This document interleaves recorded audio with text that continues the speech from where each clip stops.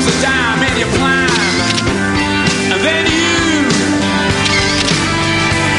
Yeah, people call Simi Bueno, cuando partió Calle 7 creo que estábamos todavía buscando el sentido, la orientación o cómo iba a ser el programa, porque yo creo que no lo teníamos muy claro. ¿Cómo están, Hola? Buenas tardes, Chile. Y ahí exploramos distintas posibilidades y distintas formas de, no solo de animar, sino que de jugar también y de, y de pasarlo bien.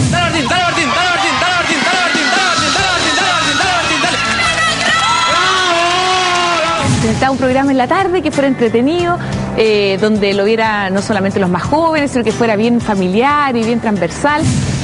Y entré en esta, en esta nueva experiencia que al principio iba a ser un programa eh, de, de entretención, de humor, con muchos gags. Monigotillo, por favor. El polígrafo. Buenas tardes, padre. Ya que Monigotillo ha traído el polígrafo, el novio dictará sus votos. muy entretenido donde hacíamos cosas lúdicas como por ejemplo cámaras negras.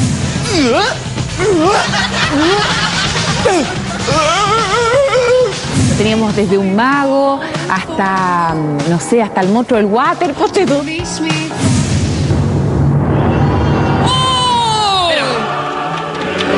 ¡Claro que lo hizo! ¡Una vez más, Robin! Ese programa tenía un mago que era el, el- el Ricardo, el mago Ricardo, eh, que hacía su escape medio peligroso, que una vez como que uno lo anduvo fallando cuando estaba en una caja y pasó un camión bomba, que de hecho quedó con, con el pie quinzado porque la rueda le pegó en, en el tobillo. Era medio loco.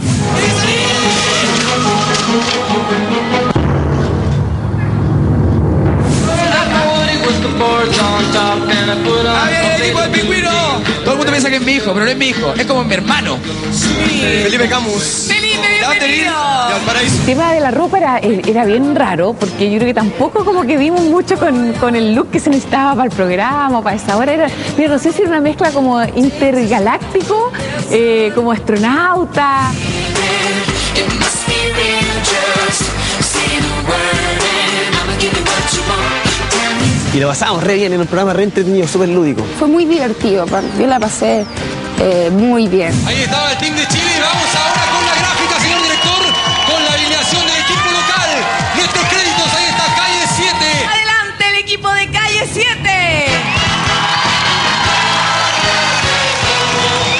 Con perro, cuneta y todo, ahí están. ¡Qué juego de piernas! ¿Cómo lo ve Gustavo?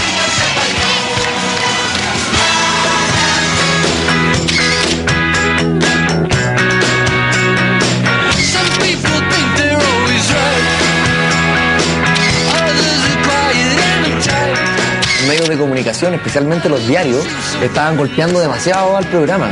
Yo me acuerdo que llegué como anécdota, por ejemplo, un día jueves al programa y el viernes salió en las últimas noticias que Calle 7 se terminaba la próxima semana. Miro a la productora ejecutiva eh, y le digo, ¿qué significa esto? Y me dice, no, no te preocupes, si esto todavía le queda para un rato más. Esa era como la sensación. Cambió, se transformó en un formato de deporte. Y resulta que como yo era deportista de antes, como en algún momento dije, yo era depo artista. ¡Chiquillo!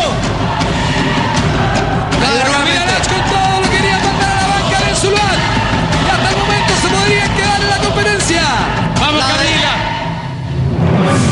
Chapu, a punto de coronarse campeón. ¿Y que es el ganador? De calle 7. Yo gané la primera temporada. eh, una temporada difícil, bien cruda, pero, pero bien gratificante porque también venía de venía de, de- de- de no tener mucho, de, de tener una vida bastante bastante simple y, y me significó poder ir consiguiendo cosas. Nos encontramos en Hollywood Boulevard, amigos de calle 7. Estamos sobre la estrella del gran conejo Bunny. Ahí está, esta es la estrella, la estoy tocando. Solo te he hecho una pelea, te he hecho una pelea. ¡Ay, oh! ¡Uy, empezó a hacerlo backstage desde un punto de vista más competitivo, empezamos a generar eh, algo que también después se hizo con muchas otras secciones, que era la, eh, generar esta rivalidad bien entendida, una rivalidad competitiva entre los amarillos y entre los rojos, eh, fuera de lo que era la competencia en sí misma, fuera de lo que era la cancha, que es lo que pasaba en camarines, y eso se empezó a lograr con el, con el backstage. Querías y sorpresivamente aparecen 5 millones en tu cuenta. Es lo que va a pasar con el ganador de la primera temporada de Calle 7. Ganaste vos, he ganado yo, te creo. No seas cínica, Marengo, no seas cínica. No seas cuñero, no seas No, no seas cínica tú. la cámara, para la cámara. Tú eres para la cámara, lo de Pinilla es para la cámara y tú lo sabes. Calle 7, ¿hay machismo o no hay machismo? Esto lo preguntamos porque Valentina Roth es la única mujer que queda en la final y las impresiones las tenemos en el backstage. ¿Hay compañeros tuyos que pecan de machismo? En cierto rigor, sí. No me gustaba nada competir. Eh, pero yo creo que lo hacía eh, por un modo de superación mía. Por el sueño, por la segunda temporada de Calle 7. Los dos amigos se enfrentan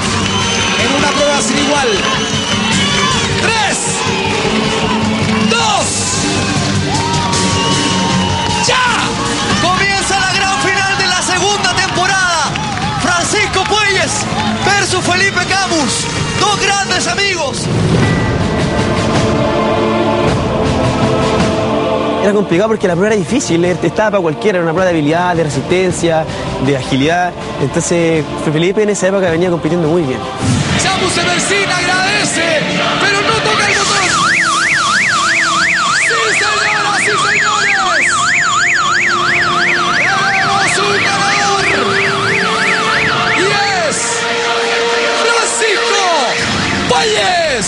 Y me quedé con la segunda temporada también. Lo que más me gustó de esa temporada fue haber eh, compartido mi premio. La mitad de ese premio es para Felipe Campos.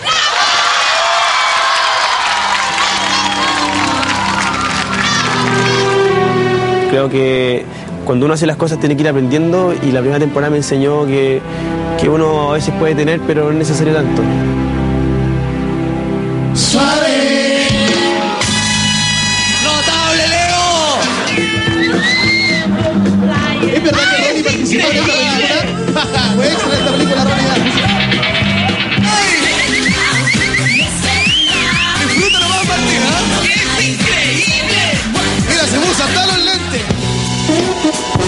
Ustedes lo veían entretenido ahí, pero para nosotros era, oh, las partidas de calle 7. Entonces las reuniones de pauta eran un cabezazo constante. Ya, ¿qué vamos a hacer día?